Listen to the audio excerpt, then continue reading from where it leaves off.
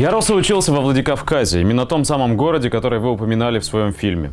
Уже тогда учиться было нелегко, потому что учиться никто из моих одноклассников не хотел.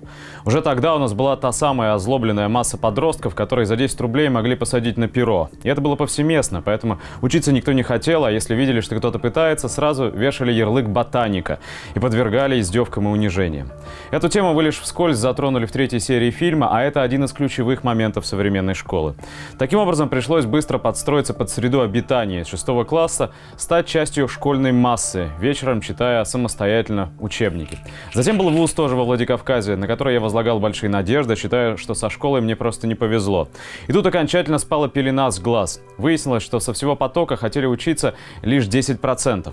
Преподаватели смотрели на студентов как на одноклеточные организмы, зачитывали на автомате свои лекции, за деньги принимали от студентов экзамены и таким же образом ставили зачеты. Те, кто хотел учиться, учиться переставал, а кто не хотел, просто просиживали штаны. В 2007-2008 годах я был свидетелем, как начинался эксперимент ЕГЭ в республике.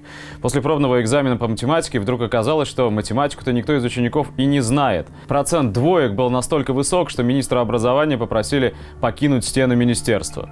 В то время экзамены сдавались с помощью учителей, потому что никто не был заинтересован в плохих результатах. Садился учитель рядом с учеником и сдавал. Уже позже задания стали просто проще, а многие вузы снизили вступительные баллы, подстраивались под новые реалии, потому что могли оказаться вообще без абитуриентов. Сейчас мой институт хотят и вовсе либо закрыть, либо присоединить к какому-нибудь из пятигорских вузов. Ведь когда-то кадры из нашего института ценились по всей стране. Всему, о чем вы говорите в фильме, я был свидетелем. Но многие мои друзья и знакомые утверждали, утверждали, что я сгущаю краски, в целом все не так плохо. Я даже, наверное, и сам начинал в это верить, пока не посмотрел последний звонок.